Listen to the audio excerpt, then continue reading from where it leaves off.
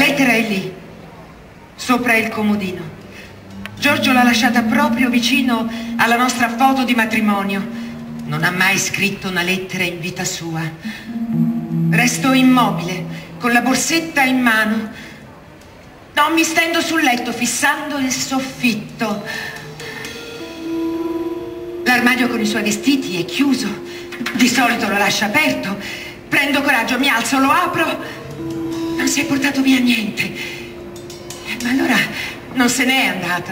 E dopo 35 anni di matrimonio non è possibile. Prendo gli occhiali, apro la lettera, tre righe. Cara Rita, non c'è molto da dire.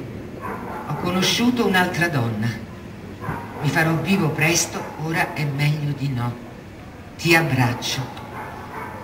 Eh, ah, scusi, non è che mi hanno messo un cartello dietro la schiena con scritto mio marito mi ha lasciato? No, i miei alunni lo facevano questi... No, no, allora sono io.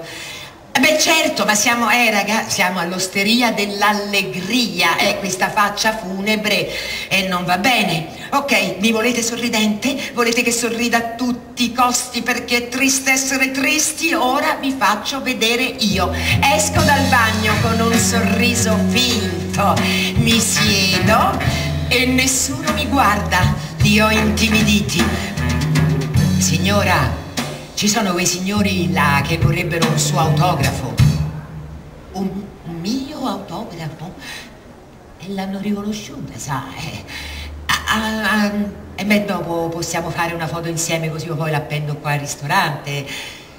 Sì, ma anche due. Il proprietario fa l'occhiolino a un signore per, come per dire che ho accettato di fargli l'autografo. E come esco da questa situazione? E perché non gli ho detto subito la verità? E poi con chi mi avranno confusa? Eh? Faccio una, una, veloce panoramica sui volti di tutte le attrici, cantanti, presentatrici, veline, velone, alle quali potrei assomigliare. Non me ne viene in mente nessuna. Forse sono ancora in tempo a dire la verità? A quando il prossimo lavoro, eh? Beh, mio figlio tiene una chitarra qui nello sgabuzzino, ci potrebbe cantare qualche cosa? No, scusi, scherzavo, non mi permetterei mai. Ha scelto? Oddio, sono una cantante. Ehm, le consiglierei un bel pesce. Eh, proprio il pesce volevo, sì. Bella spigola? Ecco, sì, una spigola, sì. No, però, vede, senta, le devo dire una cosa. Io non sono... mi chiamo Rita e sono una ex insegnante. E l'oste mi guarda attentamente per capire se sto scherzando. Ah, quindi lei non è... Magari... Eh, signora, ma lo vede quel signore là, eh? Sì, sì, ha perso la moglie un mese fa, un brutto male. Quasi tutti quelli che vede qui stasera sono amici suoi, gli hanno fatto una specie di sorpresa per stargli vicino. E tutela però che non fa altro che stare in silenzio, poi, poi è entrata lei e gli è tornato il sorriso. E sa perché? Perché pure sua moglie era affezionata a quella cantante. Insomma, mi capisce, sono quelle piccole casualità. Eh sì, mi scusi, ma così è peggio, lo stiamo prendendo in giro, eh. Ma signora, a volte si può anche non dire la verità, no? Ci sono momenti che si deve fare e altri che è meglio lasciar perdere.